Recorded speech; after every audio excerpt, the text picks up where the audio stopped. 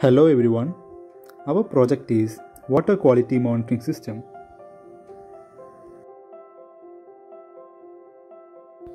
Here is our team.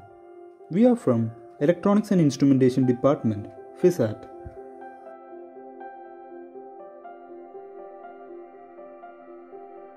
So, why a water quality monitoring system?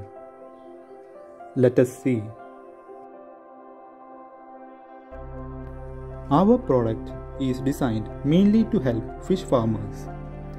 For fish farmers to be productive, they need to monitor their fish ponds regularly, keeping good records of parameters like a suitable temperature range, an ambient pH range, etc. One of the most important challenges that the fish farmers face is the acid rain and the loss due to it. So, when acid rain falls into the water, the overall pH of the water reduces. So, the fish cannot survive if the change in pH is too much. So, many fish die due to acidic water. So, what most of the farmers do is they keep changing the water without knowing the pH, which is a huge wastage of water. Some of them test the pH of water using the traditional method of test tube and pH solution, there is a great chance for error and inaccurate measurements. Other parameters to be controlled are turbidity of water, dissolved oxygen, water temperature, and seasonal influences. Normal rain has a pH of 5.6 and acid rain has a pH of 4.2 to 4.4, which is much lower on the scale, right? So, as a conclusion, what if we give the farmers a product which measures pH, temperature, and turbidity of water, which gives them accurate digital readings? Will they choose it? Definitely, right?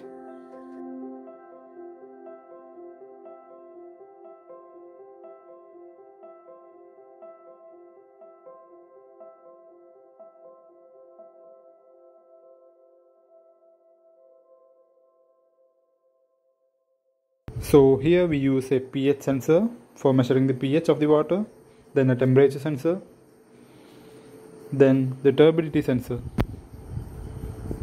This is the MSP 430 G2553 launchpad by Texas Instruments. First, we connect the three sensors to the Arduino and read values from them and display it on a LCD display. And these are their pin diagrams. This is our block diagram and this is our schematic. For 3D modeling, we used Autodesk Fusion 360. Here you can see our whole body and the lower half, where we connect all the three sensors and the LCD display too. These are the parts after 3D printing. Our product is designed in such a way that it provides maximum protection to all the three sensors.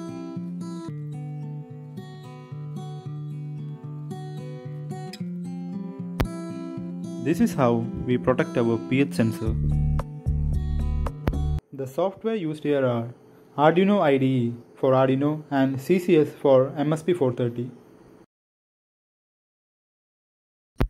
We were able to read the sensor values successfully using MSP430.